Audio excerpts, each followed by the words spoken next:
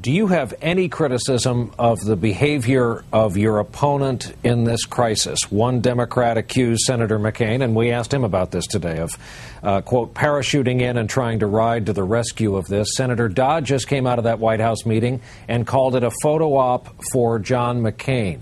Uh, have you anything to say? Sometimes, if you inject presidential politics into some delicate negotiations, it's not necessarily constructive. Uh, and it's amazing how much people can get done when folks aren't worried about taking the credit uh, or passing the blame. Uh, I think we had seen some progress, and my hope is that we can build on this progress around four principles that I care deeply about in whatever uh, deal gets struck. That we have to make sure that there's strong oversight. I think that Secretary Paulson's acknowledged that.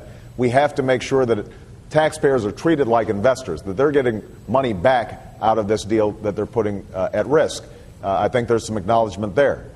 We all believe that CEOs should not be uh, walking away with golden parachutes coming out of this deal. I think there's some rough agreement there, and I think certainly on the Democratic side, we want to make sure that homeowners are getting some benefit from this plan in preventing foreclosures, making sure that communities uh, are sound. Senator, final question. You say you're going to show up at this debate uh, tomorrow night in Oxford, Mississippi. Uh, we're locked into a format, according to the Commission of Foreign Policy. Are you going to raise the economy as a topic anyway?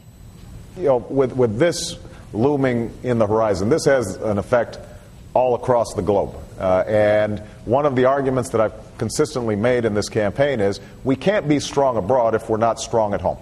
Uh, if we are spending $10 billion a month in Iraq when they have a $79 billion surplus, at a time when we are not just looking at record deficits, but we now have this extraordinary crisis uh, in our financial markets, uh, that just does not uh, make for a safe and secure America. It's one of the fundamental differences that uh, I have with John McCain, and it's something that I think we need to explore in a debate format.